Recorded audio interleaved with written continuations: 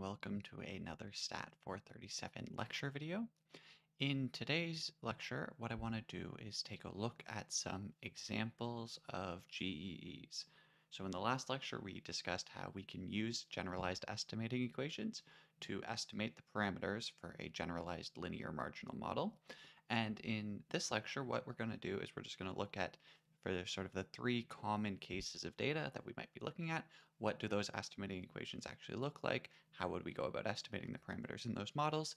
And sort of how do we set up that problem? Now, in actual fact, just like with GLMs, we're generally not going to be able to get closed form estimators for these parameters. And so we're going to sort of set up the problems and then uh, sort of in practice, you're going to be using numerical estimation techniques to accomplish the actual parameter estimates. So with that, I'll open up the whiteboard here.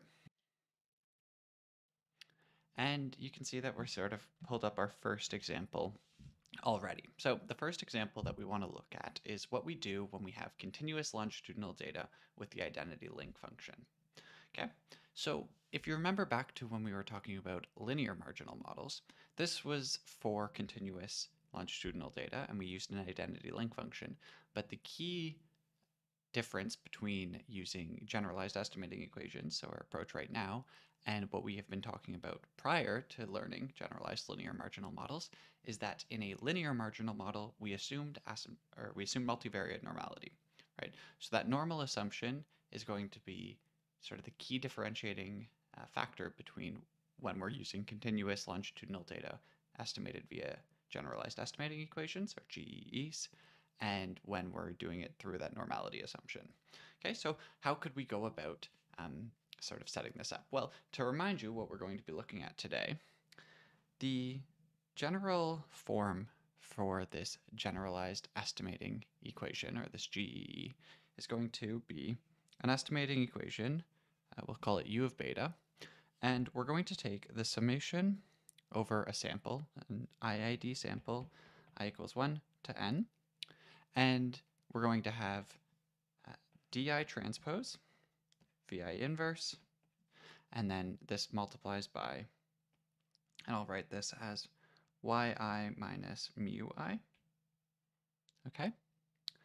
And so here, to clarify, di, well, this is going to be a matrix that has derivatives in it. So it's going to be the derivative of mu i with respect to the parameter we care about, beta. Vi, well, this is our working covariance matrix, or um, and so that's going to be, generally speaking, of this form, uh, the square root of a times by ri times by the square root of a, right? If we are willing to assume that um, we sort of have constant variance across the different time points, we might also sort of think of this as sigma squared times Ri. And remember, Ri here is a correlation matrix. And so that's whatever correlation structure we're assuming. And then finally, over here, we have mu, which is going to be given by uh, the inverse link function applied to our linear predictor. So that's xi beta. Right, so remember that we say that in this model, uh, g of mu i is equal to xi beta, where g is going to be our link function, right? So if we're working with binomial data, it's going to be the logit link. If we're working with count data, it's probably going to be a log link, right? And so then to get our mean, we invert g. So we take the inverse of g, mu i is equal to g inverse xi beta. Right, so this is the general setup that we're working with. And so for this particular example, well, what we're saying is that yi is going to be continuous and that we have uh, the identity link function. So g of mu i is just going to equal mu i, which is going to equal xi beta, okay? And so how can we go about specifying a generalized estimating equation for this? Well, the components that we need are the link function, which we've already given right there. We need to write down our linear predictor, which we're saying is xi beta. We need to specify a variance function, okay? So remember that we're assuming that our variance is going to be given by phi times by some variance function, which is a function of the mean. And the way that we're going to choose this in practice tends to be based on sort of the inspired distribution. So what I mean by that is that continuous data, we're taking inspiration from this normal distribution. And in the normal distribution, this variance function is given by the constant. So it's equal to 1, right? And that's just because in a normal distribution, we know that we just have constant variance. We normally write it as sigma squared, but you can also write it as this phi parameter here. And so we take the variance function to be equal to 1. So what that means is that um, we're going to assume that mu ij is going to be equal to xij transpose beta. We're going to assume that uh, phi times by the variance function of mu ij is just going to equal phi. Okay? We can take our R matrix to be sort of anything that we want it to be, right? So we could make the exchangeable assumption, we could make an autoregressive assumption.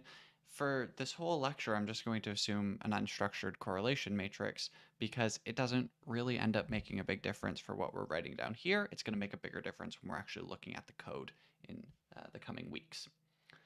Okay, so with all of that, we want to write down what is u of beta. Okay, so in order to do that, we need to figure out what di is. So remember, di is going to be equal to the derivative with respect to beta of mu i. So in this case, mu i is going to just be, um, so this will be the derivative with respect to beta of xi beta. And if you remember from your multivariate uh, calculus course, this is going to equal xi.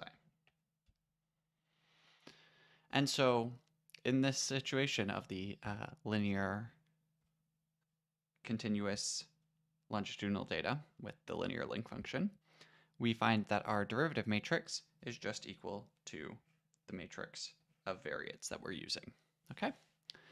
And so then what we can do here is actually write down u of beta directly, right? So we have u of beta is going to equal the summation of i equals 1 to n. And then we take di transpose vi inverse yi minus mu i. Okay, and now we can just plug in our values for this. So we found that di is going to equal xi. So we're going to start with xi transpose. Now our variance matrix, well that's given by the um, the the variance matrix is given based on uh, where do we have this written down here? We have this uh, general form up here. Um, and that's going to be specified based on this variance function that we have, right? So we're saying that for every individual, the uh, variance function is just equal to 1. And so what that means is that the overall variance is going to be uh, sort of phi times by ri rho okay? Because we're not assuming any sort of particular variance structure there. So we can write that in as phi times by ri of rho. And again, note that we're just leaving the correlation matrix unstructured here. We're going to take the inverse of that, and then yi, in this case mu i, is just equal to xi beta.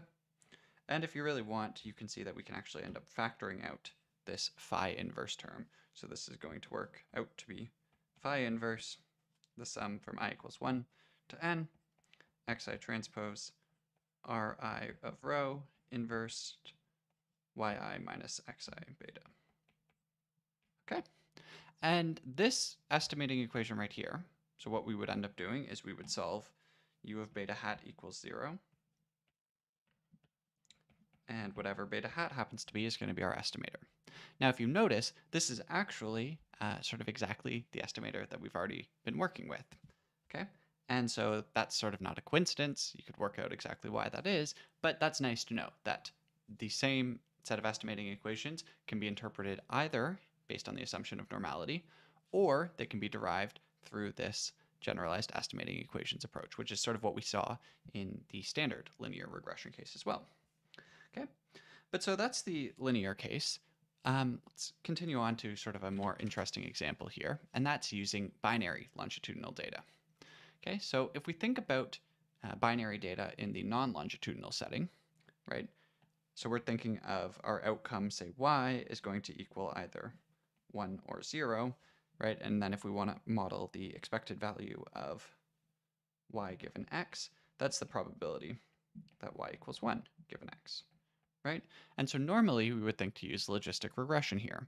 And so to specify a logistic regression model, well, we're going to say that um, the, the mean is equal to uh, the probability, and we would typically use the logit link function, right? So we're going to say that uh, g of mu, and we'll just keep working in the situation where we're assuming this is univariate for a second here. g of mu is typically going to be the logistic link function, which is uh, the log of mu divided by 1 minus mu. And we're going to set that equal to uh, x transpose beta, say, right? And so then if you wanted to invert this, we could find that mu is equal to, uh, and this is going to be the inverse logistic function or the expit function. Uh, there's a couple of different names for it, but there's sort of two general forms that it takes on. You can either write this as e to the x transpose beta divided by 1 plus e to the x transpose beta, uh, and this is equivalently uh, 1 plus e to the negative x transpose beta uh, to inverse. So 1 over that expression. Okay, and so that's going to be sort of our mean relationship. Now with binary data, we typically uh, take the variance function, so v of mu, if we're assuming a binomial distribution, is going to be mu times 1 minus mu, right? And so we can do the same thing sort of in this setting, uh, and that's going to be sort of the canonical specification for a logistic regression model. And so if we want to generalize this out, we can take these uh, same specifications here, except now we're dealing with uh, sort of these longitudinal terms. So what that means is that we're taking log of, say, mu ij over 1 minus mu ij is equal to xij transpose beta, right? And so then mu ij, by the same argument, is going to be equal to uh, and I'm just going to write this function here. I'm going to express this as the expit of x transpose beta. Okay. So then mu ij is going to be equal to the expit of xij transpose beta. Right? Um, we can take the same general process for our variance function and if we're doing that, well, then here each term actually does have a meaningful variance. It's not going to be constant variance, right? And so we will end up wanting this AI matrix, right? So we can say that um, the AI matrix is going to be the variance uh, terms for each individual, right? And uh, this is going to be sort of a um, k by k matrix here, right? And each of these is going to have a mu ij times 1 minus mu ij on the diagonal, and so I guess I should fill that in more correctly. In this case, it's going to be mu i1, 1 minus mu i1. And then it's going to be zeros on everything else, right? And so then we'd have a 0, and then we'd have mu i2, 1 minus mu i2, more zeros, uh, sort of continue this all the way down. It's going to be a 0, 0, and the last term here is going to be, say, mu ik 1 minus mu ik. Right? And then what this means is that if we take ai to be uh, this, this expression here, then what we're saying is that our variance function is going to be phi times by ai uh, to the 1 half Ri, where we can leave this to be an unstructured correlation matrix if we want, or we could impose some pattern, but there's no need to do that, times by Ai inverse, or Ai to the 1 half, right? And so um, here we have our uh, mean specification with our link function. We have our variance specification. And so from that mean specification, we can try to work out what is our di matrix. So di, recall, it's the derivative with respect to beta of mu i. And now in this case, mu i is going to be a vector, uh, a very clear vector, right? So there's not going to be quite as easy of a simplification.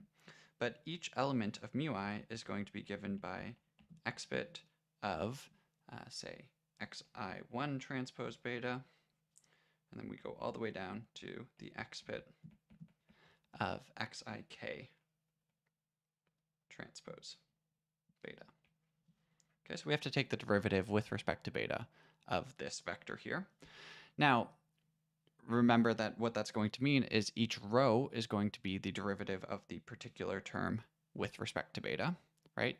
And so we're going to end up with a matrix where we sort of differentiated within the rows. And if you actually take the derivative of any one of these terms, right? Um, so if you take the derivative with respect to, say, beta j, uh, I'm going to say beta l actually, of expit of xij transpose beta. So what you're thinking of this is this is going to be the lth column from the jth row of this derivative matrix that we're working out here. Well, you can actually work out based on just this form up here for what the expit actually is, that the derivative here is going to be given by um, xij, and then we multiply that by uh, this expression, which is uh, going to be the expit of xij transpose beta um, times by the 1 minus the expit of xij transpose beta. And um, I'm realizing right now that I've actually missed off a, a subscript here, so this should be xijl, right? Because we're just looking at one of the one of the columns. So the specifics of this uh, are included in the note online, but it, all it is is sort of this rote calculus procedure where we differentiate each one of these terms with respect to beta. And the sort of the punchline for that is that we can write this expit of xij beta as mu ij. And so then 1 minus that term is going to be times 1 minus mu ij, right? And so then the derivative, if we take all of this and we sort of put this into our di matrix, is then going to be equal to a bunch of terms where in each row we have uh, sort of mu i1 times by 1 minus mu i1 times by, uh, and then here the way that I'll write this, I suppose, is uh, say xi1 transpose. And then we would have mu i2, 1 minus mu i2, xi2 transpose, and so on, up to mu ik, 1 minus mu ik, xik transpose. And so this is going to be uh, sort of rows where each of these terms is this mean times 1 minus the mean times by each component of the x vector for that row.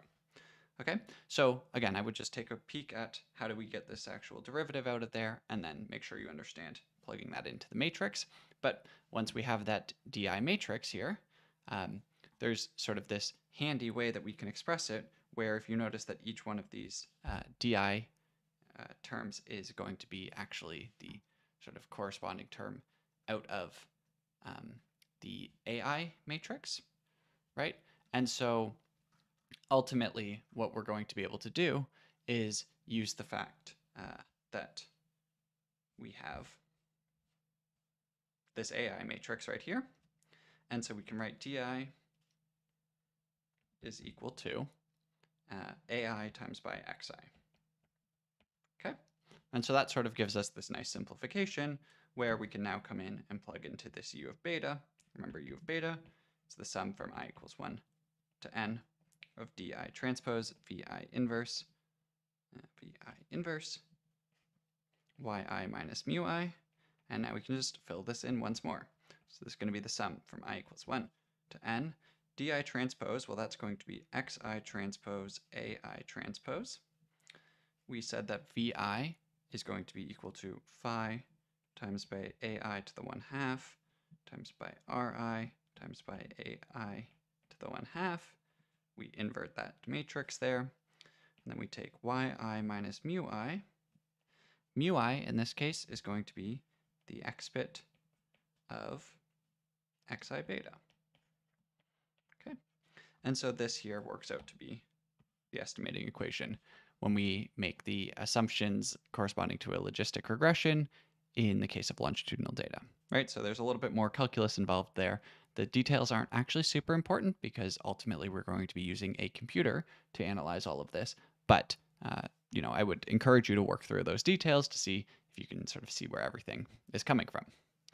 Okay, so with that example out of the way, we'll move on to sort of the third and final major example, and that's longitudinal count data. Right, so if we remember, uh, when we're faced with count data in the univariate case, we're typically going to assume that it's Poisson and run a Poisson regression with the log link function, right? So in this case, what we would be saying is that log of mu ij is equal to xij beta, right? And so of course that means that mu ij is equal to e to the xij beta, right? So that's sort of the standard log link. Now in a Poisson uh, regression, or in the Poisson random variable, generally speaking, we assume that the variance function is equal to the mean, right? So v of mu ij is just equal to mu ij. And so in this case, you know, you could also write in this relationship uh, down here as well if you wanted to, right? So you could bring that in directly. Now, if um, we sort of pull this together into what our VI matrix is then going to be, right? Uh, so we would have that uh, VI is going to be, uh, uh, once again, phi, oops, phi times by AI to the 1 half times by RI times by AI to the 1 half. And the AI matrix is just a diagonal matrix which has the variance along the diagonal.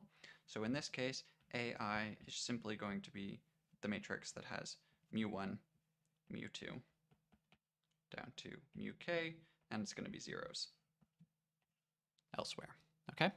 And so uh, we could also simply write this matrix as uh, sort of the diagonal matrix that's given by um, the diagonal matrix that's given by uh, e to the xi beta right? And so uh, that's sort of what our AI is going to be. And then again, with our correlation matrix, we can plug in whatever we want for that, right? So leaving it unstructured is perfectly reasonable, but if there's some reason to expect a particular pattern, we can do that as well. So then what we're left with is trying to compute what di is. Remember once more that di is going to be the derivative with respect to beta of mu i. In this case, mu i is once again a vector, so it's going to be the derivative with respect to beta. And each component of mu i is going to be equal to e to the um, xi, say 1 beta, and we can go down to e to the xik beta. All right, and so these are actually slightly easier to differentiate directly as compared to when this is an expit function, right? And so um, each of these rows is going to sort of keep the form of e to the xi1 beta, right? Because that doesn't uh, change anything when you use the exponential function. But then we have to multiply it by the derivative of what's in the exponent there, and that's going to give us, say, xi1 transposed. And then that's going to be down to uh, xik beta, and then that'll be xik transpose. Okay, so once again, we're looking at this matrix where each of these rows takes the form of the mean times by each component of our X matrix, right? And so we can sort of, once again, if we wanted to, we could factor this out into uh, our X matrix and the matrix corresponding to our mean, right? Um, so in particular, this is going to be equal to um, the matrix for our mean, say AI, right? Because in this case, AI is exactly our mean times by xi, okay? So we were able to make that factorization there. And so uh, using that, we're going to take u of beta is equal to the sum from i equals 1 to n of di transpose vi inverse yi minus mu i Hopefully this is all becoming quite familiar. Now we plug in the values here, right? So we found that di is going to be given by ai times xi. So that's going to be xi transpose ai transpose. vi is phi times by ai to the 1 half, ri, ai to the 1 half, and then we take yi minus mu i, well mu i in this case is the exponential of xi transpose, or xi beta. Okay, and so then once again, where you would solve u of beta hat equals 0, and that would give us our GE estimator for uh, this particular situation.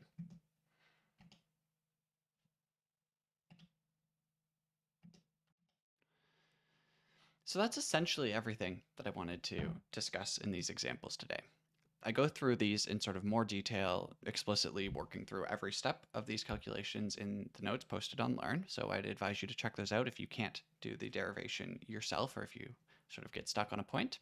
The only other piece that I would like to sort of bring back to your attention, and that's with regards to this count data. So we're going to see an example of this actually done in R in uh, the coming lectures. But remember that when we're using count data, we also need to con be considering our offsets right? And so maybe if I pop back over, pull the whiteboard back up for a second here. Well, if you remember that um, what we're really doing is we are saying that uh, we have events coming at some rate, and we normally would call that rate, say, lambda i, right? And so uh, in the standard GLM case, we would say that the expected value of yi given xi, um, it's going to be some, some rate of uh, lambda, but we're going to multiply that by the sort of time that we had offset, right? And so this is going to be uh, the, the number of events that we would expect to come in is going to be the rate at which they come in times by the time uh, that they're exposed for, right? And so, um, you know, if you have one bus stop that you're observing for 10 hours and another bus stop that you only observe for five hours, even if they were at the same rate, you would expect that there are twice as many at the bus stop observed for 10 hours compared to the one observed for five hours, right? And so the way that we would end up accomplishing this is by setting sort of an offset uh, where we take the log of our time here. And so sort of put differently, um, we might actually want to specify in the Poisson model, log of mu ij is going to be equal to uh, xij transpose beta, and this here is capturing the actual rate that they come at.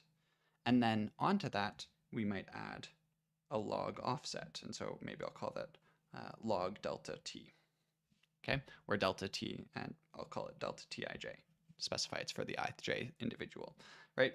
Where what this now means is that we take mu ij, it's going to be the exponential of both sides, right? So that's going to be e to the xij transpose beta, and then we multiply that by delta tij, right? And so now if this is uh, sort of the expected rate, then we multiply that in through the time. And so we'll see this again when we actually fit these models in R, but just as a reminder, um, we might not be specifying the log link exactly as I had it worded above. But the math doesn't actually change at all. This won't impact the derivatives. It'll just be sort of a term to carry around when you're doing those calculations. So as always, if you have any questions with anything we've talked about, please do let me know. And otherwise, I will see you in the next lecture video.